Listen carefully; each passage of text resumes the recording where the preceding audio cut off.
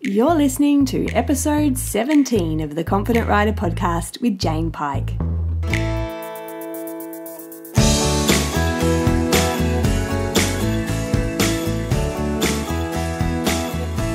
Hello, amazing person. We are back hanging out together again. Isn't it the good life?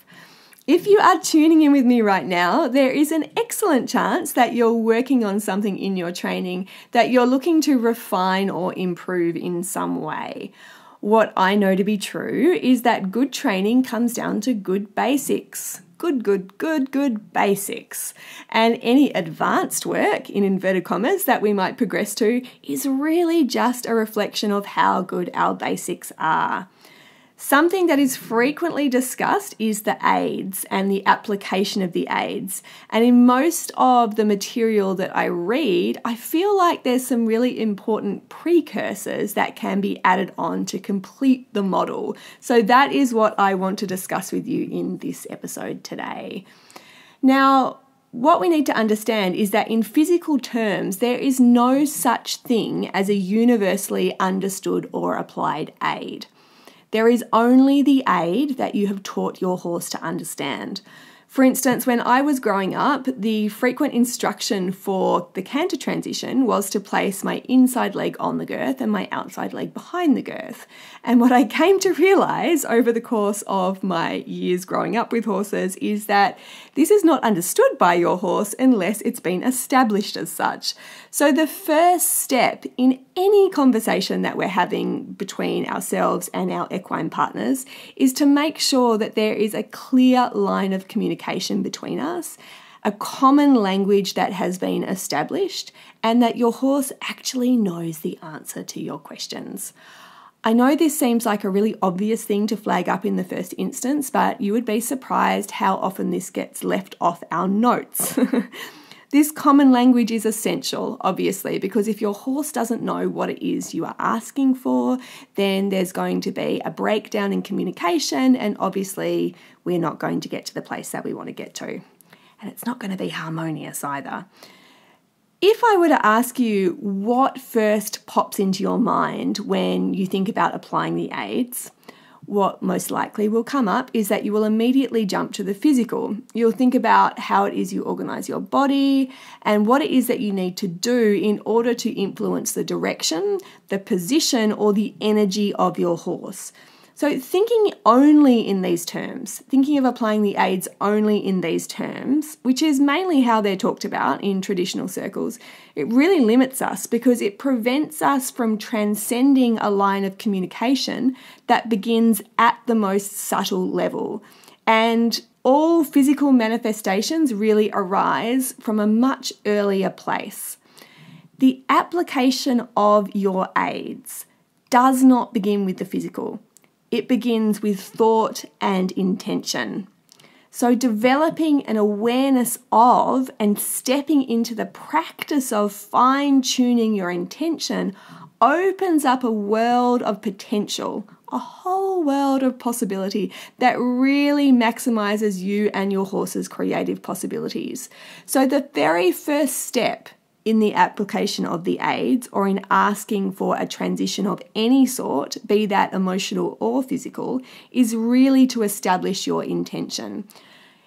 Intention is the mental and emotional blueprint that we set up that establishes the quality of the connection and it creates a clear impression of what it is we would like to see manifest in the physical. And this occurs on both a macro and a micro level. As soon as we're engaging with our horses, we are influencing every moment, whether we are aware of it or not establishing how it is we want to be as riders and horse people prior to even setting eyes on our horse and what qualities we wish to cultivate between us is part of our generalized setting of intention. So some of the questions that I ask myself is who is it that I need to be today? You know, and what does that require of me? What kind of energy and thought process do I want to be projecting to my horse in the first instance that we lay eyes on each other? Instead of waiting for outside or external experience to inform how it is we feel or operate, our intention really calls us to step into the cultivation of behaviours and ways of working with our horses as an active practice. And I love this so much about intention. In Joyride, the very first pathway, which is called All In, is so much about transforming our goals and visions and intentions into active practices rather than waiting for circumstances to arise that will allow us to feel a certain way. We don't wait to feel calm, we practice calm. We don't wait to feel confident, we practice confidence, and that really is our intention in action as the expression of our creative force.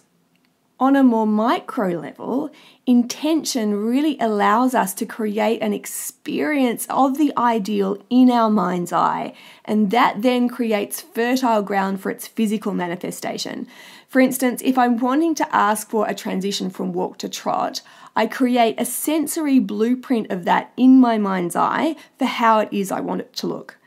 I'll see my horse effortlessly and softly move into the transition in a really engaged way. I can feel the connection between us and the relaxation that we're both sharing.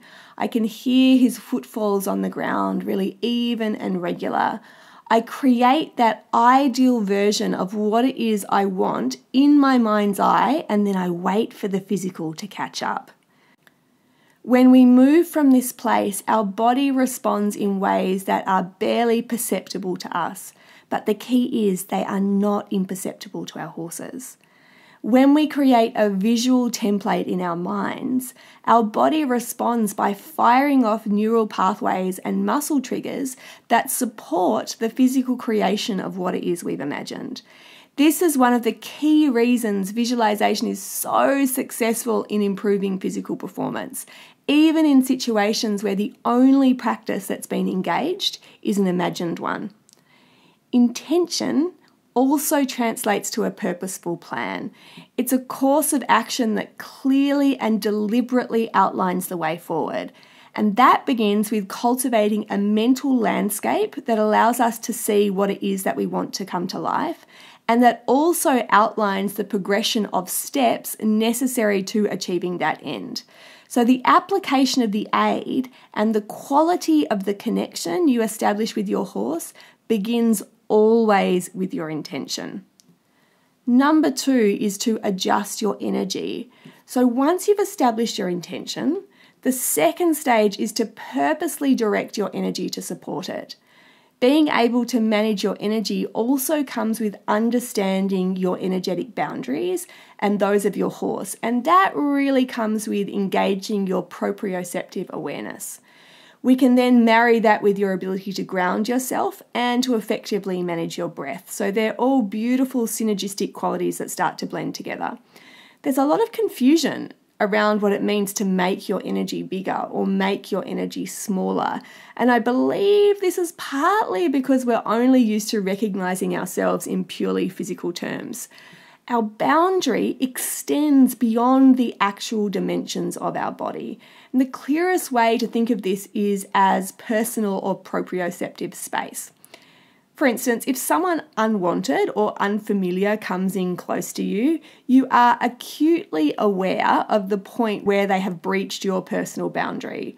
And that boundary is really different depending on who it is you're engaged with and the level of intimacy between you. And the same is true for our horses.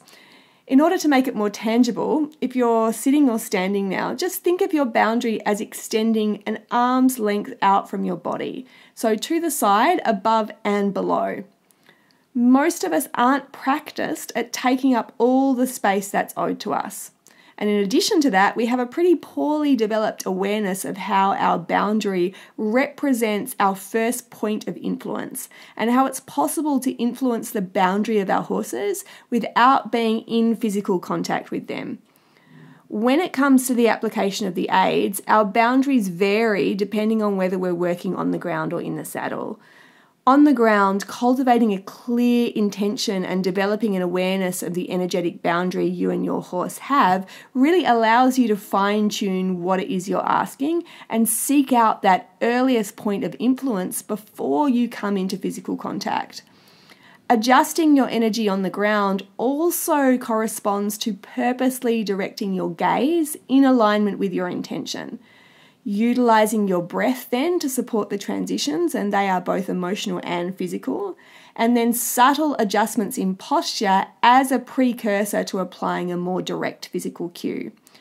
Obviously, in the saddle, there is a level of intimacy that's already established by the physical connection of spine meeting spine. And so, as a consequence of that, your energetic influence can also be much more refined. Again, a coordination of gaze, posture, and breath all blend together to create momentum behind the intention that you've already established. Then we have step three. So you can see that we've already done two things. We've organized our intention and we've organized our energy before we even got to organizing the physical. And this is the actual third stage. So the next stage is the application of the physical aid in any situation, so before insisting on follow through, just to reiterate what we talked about in the beginning, you have to ensure that what you're asking is understood and that you're clear and consistent. The effectiveness of the aid is directly proportional to the timing of the release. So, in order to communicate that the answer given by your horse is the one that you're actually looking for, the release of the aid needs to correspond with the correct, in inverted commas, response. If you experience confusion, the first thing to check is the clarity of application and understanding. It's also vital that you give your horse time to actually answer the question. So, avoid any unfair increases in pressure and situations where what you're asking him is really outside of what he is able to mentally or emotionally assimilate at that time. Super, super important. The fourth and the final stage, but still a really important one, is to give thanks. I am a wholehearted believer in expressing ongoing, deliberate, and overflowing gratitude to our horses. In each and every situation, our horse is fully deserving of our thanks. The fact that they permit us to ride them and work with them in the way we do is an everyday miracle that we often take for granted. And I really see gratitude and thanks as the closing chapter of creating a partnership that focuses on connection and it's part of a ritual. That's how I like to look at it. Part of a ritual that ends the time that we've spent together in a formal training situation and also marks the end point of any successful application of the aid. Wowee, so we packed quite a lot into that condensed amount of time together.